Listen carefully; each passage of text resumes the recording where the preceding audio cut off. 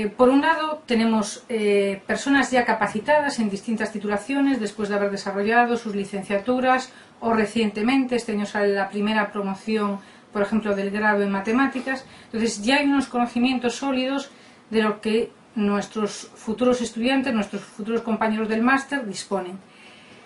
Ellos tienen una especialidad o una profesionalización que puede ser en el ámbito de las matemáticas, la física, la ingeniería, la informática, la economía, que ya es completa. Pero lo que necesitamos ahora es sumar todas estas caras y llegar a esta componente multidisciplinar.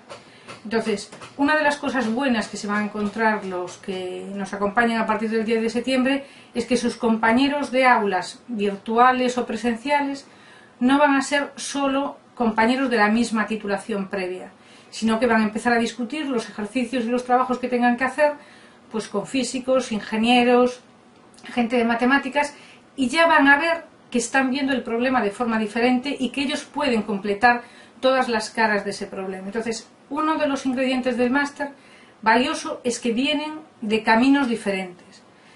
Pero aquí también el máster representa el punto de encuentro de caminos de Santiago, ¿no? Desde los distintos sitios van a ver que pueden proyectar un conocimiento compartido. Entonces, los profesores también tenemos esos ingredientes.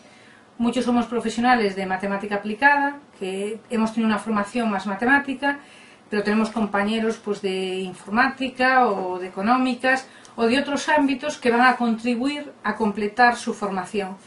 Y a que precisamente esas tres hermanas de las que hablábamos al principio, las matemáticas, la ingeniería y la supercomputación, le permitan abrir esa caja ellos ya como profesionales, generando sus propias empresas o sumándose a empresas que en estos momentos dan unos servicios que hace a lo mejor 20 años eran impensables.